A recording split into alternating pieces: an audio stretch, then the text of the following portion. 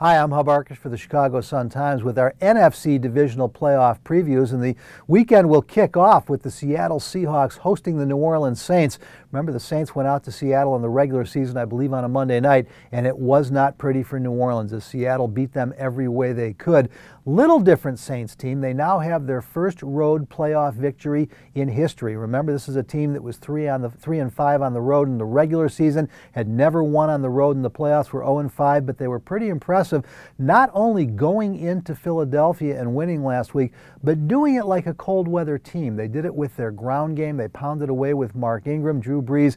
Yeah, he made a few mistakes with the interception, but for the most part ran a controlled passing game, and they played great defense. And that's the key with Seattle Seattle Seahawks. You know, the Seattle Seahawks are right now the number one seed in the NFC, arguably the best team in the NFL, probably the best defense in the NFL, but they have struggled both on and off on the offensive side. Will they have Percy Harvin to give them a down the field weapon to challenge that Saints defense?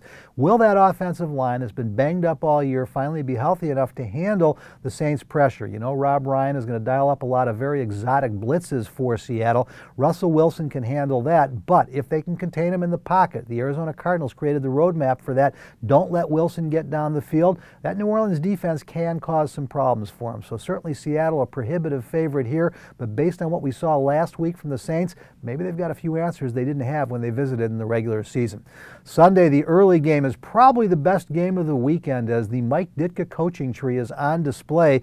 Ron Rivera's Carolina Panthers will host Jim Harbaugh's San Francisco 49ers, fresh off their victory over the Green Bay Packers, and it was an impressive win. Colin Kaepernick did just enough to win the football game for him, but it was their defense that was the difference in those oppressive conditions at Lambeau Field in Green Bay. Conditions figure to be much better in Charlotte as the Panthers are at home.